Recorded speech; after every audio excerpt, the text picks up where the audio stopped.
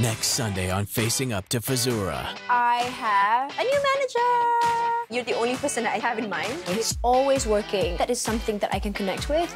Being a celebrity, I have a responsibility and I have a voice, so I'm going to use it. Whenever I hear stories from strong, empowered women, really helps me, and it's very important to share it with the younger generation.